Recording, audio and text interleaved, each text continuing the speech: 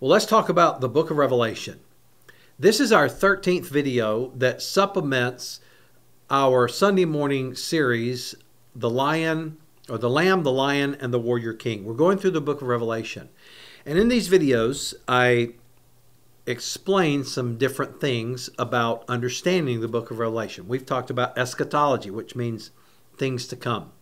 We've talked about differing views on the millennial reign of Christ. We've talked about different ways to interpret uh, the book of Revelation. We've talked about metaphors and similes. We've talked about the number 666. We've talked about the number 7. Um, and so I hope that you will have learned something from this and that it's been a blessing to you. I hope you also share it with somebody so that they might learn something as well. Well, today is the final video that I'm doing and we're going to talk about the last part of the book of Revelation, which is this. We're going to explain eternity. What is eternity? Well, you say, well, I understand eternity. It means forever. Well, let's explain what happens in that forever. You were designed by God to live somewhere forever. Not in your physical body. We know that because of Adam's sin, that this physical body is going to die it's not going to live forever in its current state. You're going to die. Um, the good news is that Jesus conquered death, and one day we're going to experience, believers, the resurrection of the body to a resurrected, glorified body that's going to be like Jesus Christ. And so, forever, you're not going to be a spirit floating around on a cloud. You're going to have a real body, and you're going to be able to eat, and smell and talk and sing and cry and love and laugh and hug people's neck. And it's just going to be wonderful that it's not going to be cursed. It's not going to be under any limitations. Um, and that you're going to be able to do things that are incredible that you can't do now. Um, and I'll just give you an example. Um, after Jesus resurrected, remember what he would do? He would just suddenly appear in a room where his disciples were. They were afraid, and he would just like appear. He would just manifest. Um, I believe that perhaps in eternity you might be able to move not at the speed of light, but at the speed of thought. Think about that. Um, so it's going to be wonderful. Um, so let me explain what eternity is going to be like. Two different groups of people are going to experience eternity very differently. Revelation 20, verse 10. And the devil who had deceived them was thrown into the lake of fire and sulfur where the beast and the false prophet were, and they will be tormented day and night forever and ever. For those who reject Christ, uh, for those anti Christ, then what is going to happen is they're going to be put into hell forever. Uh, the lake of fire, to be technical about it, forever. And um, when you think about the Bible describing the lake of fire and hell. Can you imagine how tormenting it would be to be in a place because hell technically the definition is you know the absence of God, total separation from God. Think about what it would be like forever to have no light. And I'm not talking about just physical light that your eye can see, but no light, no joy, no happiness um, no love. Think about there being nothing but hate. Think about there being no hope. Man, living like that has got to be beyond torment. There's no love, there's no joy, there's no peace. Um, because there's a total separation from God, and people that are in hell get what they chose. I've heard one preacher say it this way God doesn't put anyone in hell people put themselves there. And I think maybe that's true.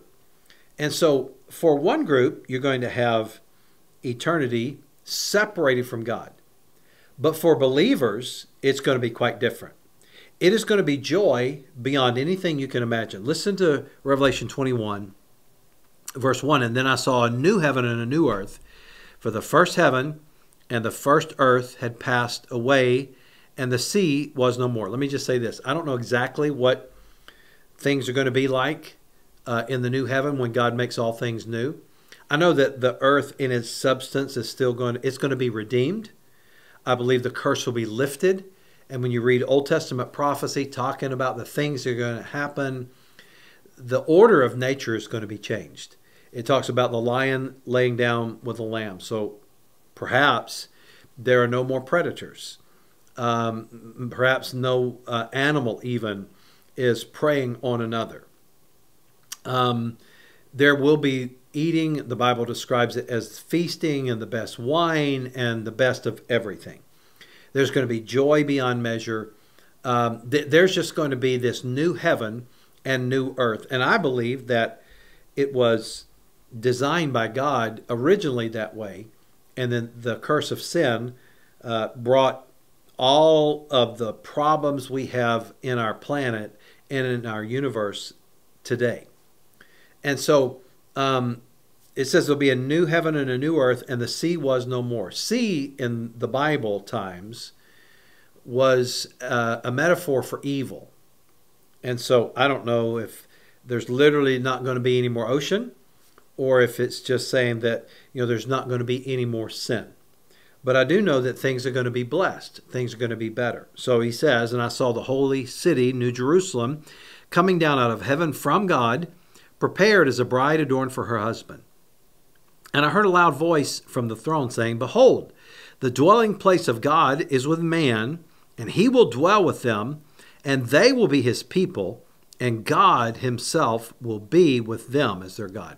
Now, the, the definition of heaven technically is being in the presence of God, being where God is, living with God. And so, whatever that's like, the Bible does describe it quite a bit. But whatever it's like, it is going to be with God, and God is going to be with us. And that is incredible. And he who is seated on the throne uh, said, Behold, I am making all things new. And also he said, Write this down, for these words are trustworthy and true. And he said to me, It is done. I am the Alpha and Omega, the beginning and the end. In other words, he's saying, I fulfill my purpose. I am the point of history. I started it, I'm going to be here at the end. I'm the Alpha and Omega. I am over all of time and space and creation. And so uh, God is the one who is with us. Jesus is the one who is with us. And um, he said to the thirsty, I will give him from the spring of the water of life without payment. Aren't you glad that God's grace is free? It's free to us, it cost him everything. The one who conquers will have this heritage. And by the way, Jesus is the one who conquers for us so we will be those conquerors with him in heaven. Um, and I will be his God, and he will be my son. But as for the cowardly, the fatherless, the detestable, as for murderers, the sexually immoral, sorcerers, idolaters, and all liars, their portion will be in the lake that burns with fire and sulfur, which is the second death. And what he's saying there is those who have not been redeemed those that have not been justified, forgiven, uh, that have come into a right relationship with God through Jesus Christ. Because what God says about our sin is this that when we're forgiven, that the blood covers the blood of Jesus covers our sins, it removes our sins, it forgives us of our sins. But God chooses, He says, I will remember your sin no more. And so when God sees us, He doesn't see any sin, but for those that are not redeemed, those that are not justified, what he sees is their sin.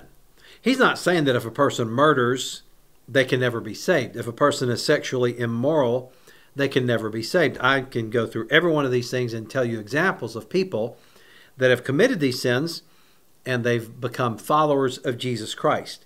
So, what he's saying is if you're not redeemed, if you're not my child, then you will not have a part in this. And then in chapter 22, verse 1, then the angel showed me the river of the water of life, bright as crystal, flowing from the throne of God and of the Lamb through the middle of the street of the city, also on either side of the river. And the tree of life, with its twelve kinds of fruit, yielding its fruit each month. The leaves of the tree were for the healing of the nations.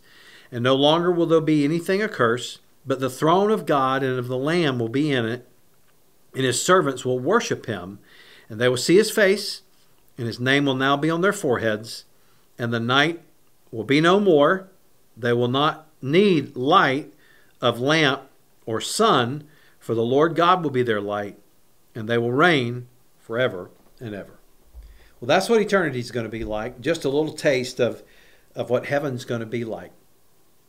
Thank you for joining us in this series, The Lamb, the Lion, and the Warrior King, as we've looked at the book of Revelation, as we've talked in each of these YouTube videos about different aspects of the book of Revelation. I hope you've learned something, and I hope it's a blessing to you, and I hope that you've learned to put Jesus at the center because that is the promise that those that do that, those that understand that Jesus wins, those people are going to be blessed. Well, God's blessings on you. I hope you have a great day. I love you, and I hope to see you this Sunday.